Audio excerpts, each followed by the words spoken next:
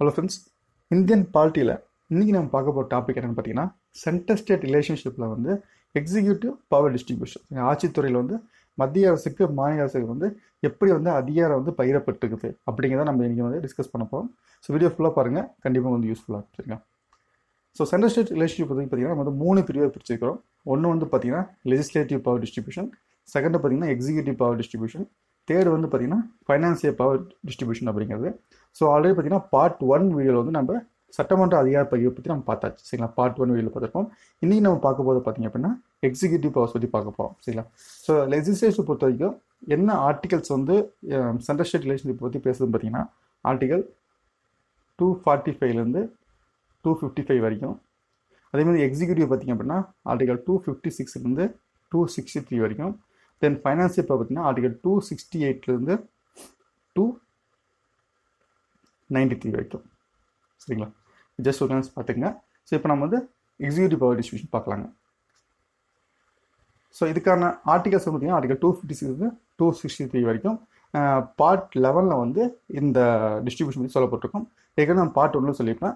பெரும்பாலான நம்மளுடைய இந்த பவர் டிஸ்ட்ரிபியூஷன் அப்படிங்கிறது பார்த்தீங்கன்னா கவர்மெண்ட் ஆஃப் இந்தியாவுக்கு நைன்டீன் தேர்ட்டி ஃபைவ் இருக்குல்ல. ஸோ அதை ஃபாலோ பண்ணதாக இருக்கும். ஓகேங்களா என்னென்ன டாப்பிக்கில் பார்க்க போகிறோம் பார்த்தீங்கன்னா ஃபஸ்ட்டு வந்து பார்த்தீங்க அப்படின்னா டிஸ்ட்ரிபியூஷன் ஆஃப் எக்ஸிக்யூட்டிவ் பவர்ஸ் நம்ம சொல்லணும். மத்திய அரசுக்கு மாநில அரசுக்கு வந்து எப்படி வந்து இந்த இந்த நிர்வாகத்தில் வந்து அதிகார பதிவு இருக்குது அப்படிங்கிறத நம்ம வந்து ஃபஸ்ட்டு பார்க்க போகிறோம் செகண்ட் வந்து பார்த்தீங்க அப்படின்னா applications of state and state மத்திய அரசுக்கு மாநில அரசுக்கு வந்து இந்த ஆட்சித்துறை நிர்வாகத்தில் வந்து என்ன விதமான கடமைகள் இருக்குது அப்படிங்கிற நம்ம செகண்ட் பார்க்க போகிறோம் தேர்டு வந்து பார்த்தீங்க அப்படின்னா மாநிலங்களுக்கு வந்து மத்திய அரசு கொடுக்கக்கூடிய டைரக்ஷன்ஸ் அதுக்கான கட்டுப்பாடுகள் என்னென்ன இருக்குது அதாவது ஆட்சித்துறைக்கு நிர்வாகத்தில் அப்படின்னு நம்ம பார்க்க போகிறோம் ஃபோர்த் வந்து பார்த்தீங்கன்னா தங்களுடைய பணிகள் தங்களுடைய பணிகளை வந்து எப்படி வந்து ஒப்படைக்கிறாங்க? மியூச்சுவல் டெலிகேஷன் ஆஃப் ஃபங்க்ஷன்ஸ் அப்படிங்கிறது பார்க்க போகிறோம் அதாவது மத்திய அரசு தன்னுடைய பணிகளை வந்து மாநில அரசுக்கு எப்படி ஒதுக்கலாம்? அதாவது மாநில அரசு தன்னுடைய பணிகளை வந்து எப்படி மத்திய அரசுக்கு ஒதுக்கலாம் அப்படின்னு நம்ம மியூச்சுவல் டெலிகேஷனில் பார்க்க போகிறோம் ஃபிஃப்த்து வந்து பார்த்திங்க அப்படின்னா cooperation between central and states மத்திய அரசுக்கும் மாநில அரசுக்கும் வந்து இணக்கமாக இருக்கிறதுக்கு என்னென்ன விஷயங்கள் இருக்குது அப்படின்னு சொல்லி நம்ம பார்க்க போகிறோம் சரி இந்த அஞ்சுமே வந்து பார்த்திங்கன்னா நம்ம எக்ஸிக்யூட்டிவ் கீழே பார்க்கக்கூடிய பவர் டிஸ்ட்ரிபியூஷன் அப்படிங்கிறது. ஸோ ஒன் பை ஒன்னாக பார்க்கலாங்க. ஃபஸ்ட் நான் பார்க்க போது பார்த்தீங்க அப்படின்னா டிஸ்ட்ரிபியூஷன் ஆஃப் எக்ஸிக்யூட்டிவ் பவர் சரிங்களா? மத்திய அரசுக்கு வந்து எதன் மேலே அதிகாரம் இருக்குது மாநில அரசுக்கு வந்து எதன் மேலே அதிகாரம் இருக்குது அதாவது நிர்வாகத்தில் அப்படின்னு நம்ம பார்க்க போகிறோம் நம்ம பார்ட் ஒன் வீடியோவில் வந்து பார்த்தீங்கன்னா நம்ம லெஜிஸ்லேட்டிவ் சப்ஜெக்ட்ஸ் பார்த்துருப்போம் நம்ம. Union list state list concurrent list இல்லைங்களா? ஸோ அதை பேஸ் பண்ணி தான் பார்த்தீங்கன்னா உங்களுக்கு அவங்களுக்கான எக்ஸிக்யூட்டிவ் பவர்ஸ் வந்து கொடுத்துருப்பாங்க உங்களுக்கு. ஃபர்ஸ்ட் வந்து யூனியன் லிஸ்ட் மத்திய பட்டியல் ஸோ மத்திய பட்டியலில் கூடிய விஷயங்களுக்கு எல்லாத்துக்குமே வந்து யாருக்கு வந்து நிர்வாகத்துக்கான அதிகாரம் இருக்குன்னு பார்த்தீங்கன்னா மாநில அரசு சாரி மத்திய அரசுக்கு தான் இருக்கு. மத்திய அரசு தான் வந்து அதோட ஆட்சித்துறை அதிகாரத்தை வந்து அதை மேலே செலுத்த முடியும் அதாவது யூனியலிஸ்டுக்குரிய சப்ஜெக்ட் மேலே அப்படிங்கிறது. ஸோ அந்த அதிகாரம் அப்படிங்கிறது பார்த்தீங்கன்னா மொத்த இந்தியாவுக்கும் பொருந்தக்கூடியதாக இருக்கும்.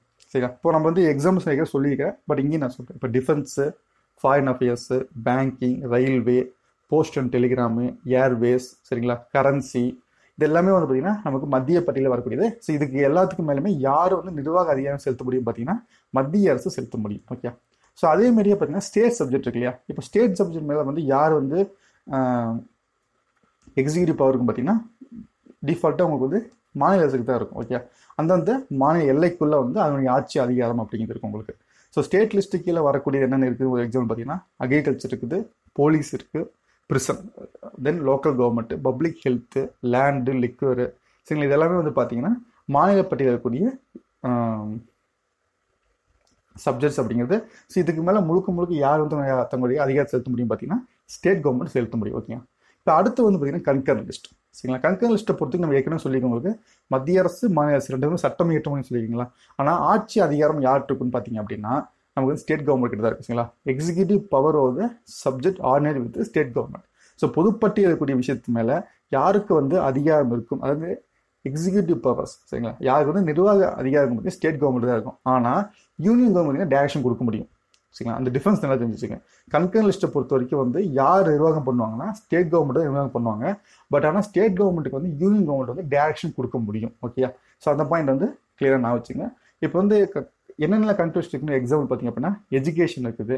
தென் வந்து ட்ரான்ஸ்ஃபர் ஆஃப் ப்ராப்பர்ட்டி அதை then agriculture land forest adulteration இதெல்லாம் பார்த்தீங்கன்னா நமக்கு கன்கர் லிஸ்ட்டில் இருக்கக்கூடிய விஷயங்கள் அப்படிங்கிறது. ஸோ யூனியன் லிஸ்ட்டை பொறுத்து யாரை யார் இதுக்கு ஒரு பெஸ்ட் எக்ஸாம்பிள் சொல்கிறேன் உங்கள் வந்து ரைட் டு எஜுகேஷன் ஆக்ட் இருக்குங்களா? ரைட் டு எஜுகேஷன் ஆக்ட் நம்ம சொல்கிறோம் அதுதான் கல்வி உரிமை சட்டம் அப்படிங்களா ஸோ இந்த சட்டத்தை வந்து யார் ஏற்றுறாங்க அப்படின்னு பார்த்தீங்கன்னா உங்களுக்கு வந்து மத்திய அரசு ஏற்றுவாங்க ரைட் டு எஜுகேஷன் ஆக்ட் ஏற்றுனீங்கன்னா மத்திய அரசு ஏற்றுனாங்க ஆனால் இதை யார் செயல்படுத்துவாங்க பார்த்தீங்கன்னா மாநில அரசு செயல்படுத்துவாங்க. எஜுகேஷன் அப்படிங்கிறது வந்து நமக்கு கண்ட்ரி லிஸ்ட் இப்படி இருக்குது சரியா? இப்போ உதாரணத்துக்கு வந்து பார்த்தீங்க அப்படின்னா ஆறுலேருந்து பதினேழு வயசு குழுக்கள் வந்து இலவச கல்வி கொடுக்கணும். டீச்சர்ஸ் ரேஷியோ இவ்வளோ இருக்கணும். அதேமாதிரி பார்த்தீங்கன்னா வந்து அட்மிஷன் ஃபீஸ் வாங்கக்கூடாது. குழந்தைங்க வந்து இன்டர்வியூ வைக்கக்கூடாது. இதெல்லாம் வந்து பார்த்தீங்கன்னா இந்த சட்டத்தில் கூடிய விஷயங்கள். இதாவது செயல்படுத்தக்கூடிய இடத்துல யார் இருப்பாங்க பார்த்தீங்கன்னா ஸ்டேட் கவர்மெண்ட் தான் இருப்பாங்க. சரிங்களா? ஸோ அந்த விஷயத்தை தெரிஞ்சு வச்சுக்கோங்க ஸோ அடுத்து வந்து பார்த்தீங்க அப்படின்னா applications of state and centre மாநில அரசுகளுக்கும் மத்திய அரசுக்குமான கடமைகள் என்ன அப்படின்னு பார்க்க போகிறோம் இதை பற்றி பேசக்கூடிய ஆர்டிகல் என்ன பார்த்தீங்கன்னா article two fifty six article two fifty அப்படின்னா இந்த கடமையை பற்றி பேசக்கூடியதாக இருக்குது முதல்ல வந்து பார்த்தீங்க அப்படின்னா நம்ம வந்து ஸ்டேட் கவர்மெண்ட்டுக்கான கடமைகள் என்னன்னு பார்க்கலாங்க. ஸ்டேட் கவர்மெண்ட்டை பொறுத்த வரைக்கும் பார்த்தீங்கன்னா அவங்களுடைய எக்ஸிக்யூட்டிவ் பவர் அப்படிங்கிறது வந்து பாராளுமன்றத்துடைய சட்டத்துக்கு உட்பட்டதாக இருக்கணும். அதேமாதிரி அந்தந்த ஸ்டேட்டினுடைய லாக்கு உட்பட்டதாக இருக்கணும். இந்த ரெண்டையுமே வந்து பார்த்தீங்கன்னா எக்ஸிக்யூட்டிவ்ஸ் வந்து ஃபாலோ பண்ணணும். அதாவது ஸ்டேட் எக்ஸிக்யூட்டிவ் ஃபாலோ பண்ணணும். ஸோ ஸ்டேட் எக்ஸிக்யூட்டிவ் கடமை என்னன்னு பார்த்தீங்கன்னா ஒன்று வந்து பாராளுமன்ற சட்டத்துக்கு உட்பட்டு தங்களை வந்து செயல்படுத்தணும். அதே பார்த்தீங்கன்னா தங்களுடைய ஸ்டேட்டுடைய லா என்னவோ அதுக்கு உட்பட்டு தங்களுடைய செயல்பாடு இருக்கணும் அப்படிங்கிறத வந்து மாநிலத்துக்கான கடமையாக இருக்குது எக்ஸிக்யூட்டிவ் பொறுத்த வரைக்கும். இதே அரசனுடைய கடமை பார்த்தீங்க இல்லையா அடுத்து மத்திய அரசனுடைய கடமை என்னன்னு பார்த்தீங்கன்னா ஸோ மத்திய அரசு என்ன பண்ணணும் அப்படின்னு பார்த்தீங்கன்னா மாநில அரசு வந்து பாராளுமன்றத்துடைய சட்டத்துக்கு உட்பட்டும் ஸ்டேட்டுடைய ஸ்டேட் லாவுடைய சட்டத்துக்கு உட்பட்டும் வந்து பார்த்தீங்கன்னா இயங்கணும் இல்லையா? அப்படி இயங்காத பட்சத்தில் அவங்களுக்கான டைரக்ஷன் கொடுக்க வேண்டிய இருப்பாங்கன்னா யூனியன் கவர்மெண்ட் இருப்பாங்க. இதான் வந்து யூனியன் கவர்மெண்ட்டுடைய கடமையாக இருக்குது சரிங்களா? அதனால நான் வச்சுங்க மாநில அரசுடைய கடமை அப்படிங்கிறது பாராளுமன்ற சட்டத்துக்கும் மாநில சட்டத்துக்கும் உட்பட்டு இயங்கணும். அதை வந்து தவறும் பட்சத்தில் அதுக்கு அவங்களுக்கான டேரக்ஷன் கொடுக்க வேண்டிய இடத்துல இருப்பாங்கன்னா யூனியன் கவர்மெண்ட் இருப்பாங்க. அதாவது யூனியன் கவர்மெண்ட்டுடைய யூனியன் கவர்மெண்ட் ஒரு டேரக்ஷன் கொடுத்து அந்த டேரக்ஷனை வந்து அந்த ஸ்டேட் கவர்மெண்ட் ஃபாலோ பண்ணலை அப்படின்னா சரிங்களா? ஸ்டேட் கவர்மெண்ட் ஃபாலோ பண்ணல அப்படின்னா அதுக்கு வந்து சட்டம் இருக்குது என்னன்னு பார்த்தீங்கன்னா அடுக்கு த்ரீ சிக்ஸ்டி ஃபைவ் அப்படிங்கிறது. அதன்படி வந்து அந்த ஸ்டேட் கவர்மெண்ட்டுடைய ஆட்சி கலைச்சிட்டு அங்கே வந்து அவங்க ஜனாதிபதி ஆட்சி கொண்டு வர முடியும். சரிங்களா? இது ரொம்ப ரொம்ப முக்கியமான ஒரு ஆக்ட் சரிங்களா? Article three sixty five act அப்படிங்கிறது.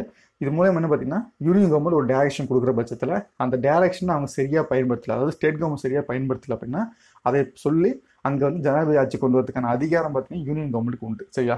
இதை பற்றி பேசக்கூடிய article article three sixty five okay அடுத்த டாபிக் என்ன பார்த்தீங்கன்னா control of union over state in certain cases சரிங்களா?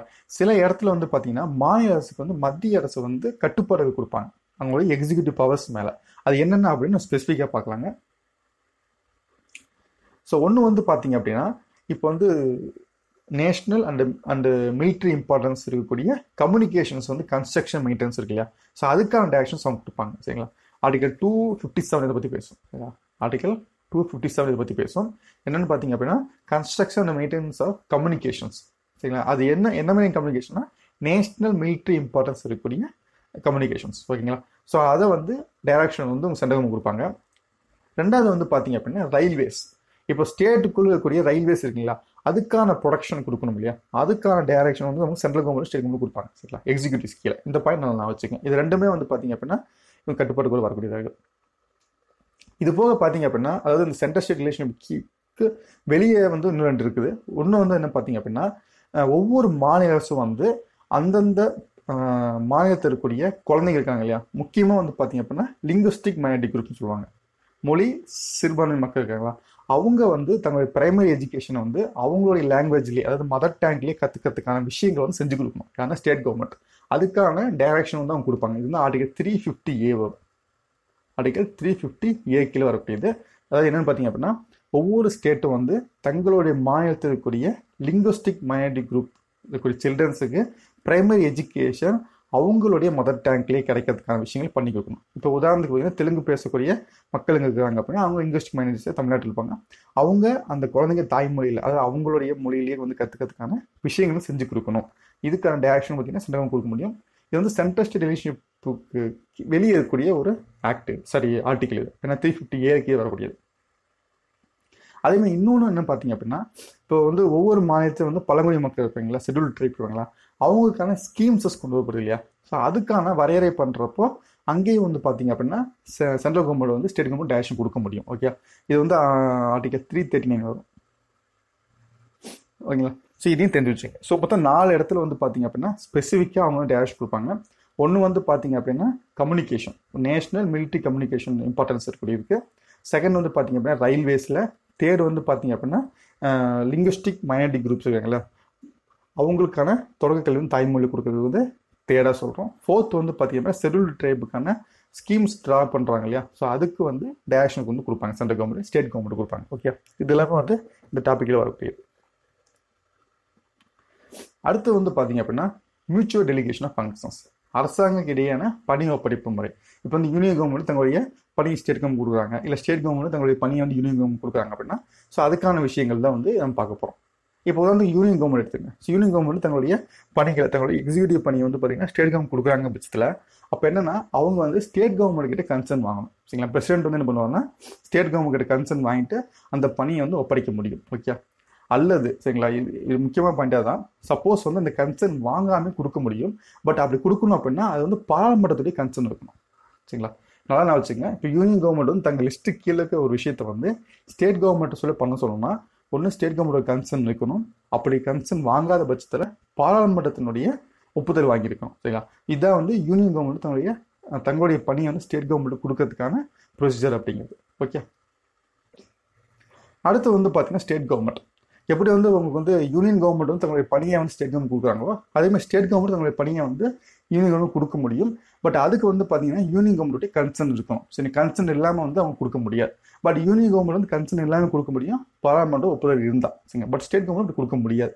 இதை பற்றி பேசக்கூடிய ஆர்டிகல் ஆர்டிகல் டூ ஃபிஃப்டி எயிட்டில் ஏ இதான் வந்து பார்த்தீங்கன்னா ஸ்டேட் கவர்மெண்ட் வந்து யூனியன் கவர்மெண்ட்டுக்கு தன்னுடைய பணிகள் கொடுக்க பற்றி பேசக்கூடிய ஆர்டிக்கல் அப்படிங்கிறது ஸோ இது கிளியர் தெரிஞ்சு வச்சுங்க சரிங்களா? ஸோ அடுத்து வந்து பார்த்து பார்க்க போகிறாங்க so article two sixty eight so ரொம்ப முக்கியமான ஆர்டிக்கல் இது. ஸோ இப்போ ரெண்டு மாநிலங்களுக்கு இடையே வந்து ஒரு வாட்டர் டிஸ்பியூட் வருங்களேன் இன்டர்ஸ்டேட் வாட்டர் டிஸ்பியூட் வர சமயத்தில் வந்து அப்போ வந்து உங்களுக்கு வந்து பாராளுமன்றம் வந்து அதுக்கான தீர்ப்பாயத்தை வந்து உருவாக்க முடியும். இதான் வந்து ஆர்டிகல் டூ சிக்ஸ்டி சொல்லக்கூடியது. ஃபார் எக்ஸாம்பிள் நமக்கு தெரியும் காவேரி இருக்குங்களா? இப்போ காவேரி ரிவரை பற்றி பார்த்தீங்கன்னா உங்களுக்கு வந்து தமிழ்நாடு கர்நாடகா பாண்டிச்சேரிக்கு இடையே வந்து ஒரு ஒரு டிஸ்பியூட் இருக்கக்கூடிய ஒரு ரிவர் நம்ம சொல்கிறோம் ஸோ அதுக்கான ஒரு தீர்ப்பாயத்தை வந்து பாராளுமன்றம் மூலியமாக வந்து ஏற்படுத்தி அந்த பிரச்சனையை வந்து சால்வ் பண்ண முடியும். சரிங்களா? இதாவது இன்டர் வாட்டர் டிஸ்பியூட் அப்படிங்கிறது. ஆர்டிகல் டூ சிக்ஸ்டி டூ வந்து இதை பற்றி பேசக்கூடியது. ஓகே அதே மாதிரி இன்னொன்று வந்து பார்த்தீங்கன்னா இன்டர்ஸ்டேட் கவுன்சில் அப்படிங்கிறது. ஸோ இன்டர்ஸ்டேட் கவுன்சில் வந்து ஆர்டிகல் டூ சிக்ஸ்டி த்ரீ கீழே வரக்கூடியது. சிக்ஸ்டி டூ வந்து இன்டர்வார்டு டிஸ்பியூட் அப்படிங்கிறது சிக்ஸ்டி த்ரீ அப்படிங்கிறது இன்டர்ஸ்டேட் கவுன்சில் அப்படிங்கிறது. பிரசிடென்ட் வந்து பார்த்தீங்கன்னா இந்த இன்டர்ஸ்டேட் கவுன்சில் வந்து வந்து உருவாக்கலாம். சரிங்களா? மத்திய மாநிலத்துக்கு வந்து ஒரு இணக்கம் கொண்டு வரதுக்காக பார்த்தீங்கன்னா கொண்டு வரலாம். இங்கே வந்து பார்த்தீங்கன்னா இப்போ வந்து ஒரு ஒரு ரெண்டு ஸ்டேட்டுக்கு இடையே ஒரு பிரச்சனை பண்ணால் அதை பற்றி டிஸ்கஸ் பண்ணுறது இல்லை வந்து எல்லா ஸ்டேட்டும் வந்து ஒரு கோஆப்ரேஷன் இருக்கிறதுக்கு என்ன பண்ணுறது இந்த மாதிரி வந்து டிஸ்கஸ் பண்ணுறதுக்காக இந்த கவுன்சில் வந்து பயன்படுத்திக்க முடியும். ஆர்டிகல் டூ சிக்ஸ்டி பார்த்தீங்கன்னா இந்த இன்டர்ஸ்டேட் கவுன்சிலை பற்றி பேசக்கூடியதாக இருக்குது ஸோ இந்த ரெண்டுமே வந்து பார்த்தீங்கன்னா வந்து ஸ்டேட்டுக்கான கோஆப்ரேஷன் பற்றி பேச ஸ்டேட் சென்டருக்கான கோஆப்ரேஷன் பற்றி பேசக்கூடிய ஆக்ட் அப்படி சொல்லலாம் article two sixty two sixty three நமக்கு. ஸோ அடுத்து வந்து பார்த்தீங்கன்னா எமர்ஜென்சி டைமில் சரி எமர்ஜென்சி டைமில் வந்து இந்த ரிலேஷன்ஷிப் எப்படி இருக்கும்? எக்ஸிக்யூட்டிவ்கான பவர் ரிலேஷன்ஷிப் எப்படின்னு சொல்லி பார்க்க போகிறோம் ஃபஸ்ட்டு வந்து நேஷனல் எமர்ஜென்சி இப்போ வந்து ஆர்டிகல் த்ரீ ஃபிஃப்டி டூ இல்லையா national emergency article three fifty நம்ம சொல்லுவோம்.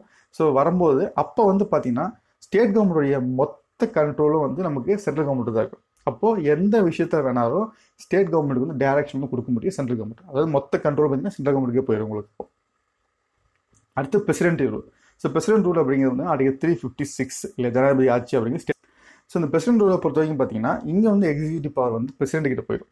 பிரசிடென்ட் கிட்ட தான் மொத்த எக்ஸிக்யூட்டிவ் பவர் இருக்கும். அவர் வந்து தன்னுடைய அந்த எக்ஸிக்யூட்டிவ் பவரை வந்து கவர்னருக்கோ இல்லை சீஃப் செக்ரட்டரிக்கும் என்ன பண்ணா அசியூம் பண்ணிப்பார். சரியா? கொடுத்துருவார் உங்களுக்கு. அடுத்து பார்த்தீங்கன்னா finance emergency so finance emergency article three sixty இல்லையா? ஸோ ஃபைனான்ஸ் எமர்ஜென்சி பார்த்தீங்க அப்படின்னா பிரசிடென்ட் வந்து பார்த்தீங்கன்னா அவங்க சேலரி சரிங்களா? இப்போ கவர்மெண்ட் எம்ப்ளாயிஸ் அவங்க சேலரிஸை கூட வந்து ரிடக்ஷன் பண்ண முடியும். இது வந்து எக்ஸிக்யூட்டிவ் கீழே வரக்கூடியது தான் இல்லையா? ஸோ அந்த மாதிரியான எக்ஸிக்யூட்டிவ் பவர் பற்றி அப்படின்னா சென்டர் கீழே போயிடும். ஸோ எமர்ஜென்சி டைமில் வந்து பார்த்தீங்கன்னா நேஷனல் எமர்ஜென்சி மொத்த எக்ஸிக்யூட்டிவ் பவரும் வந்து பார்த்தீங்கன்னா சென்டர் கிட்ட போயிடும்.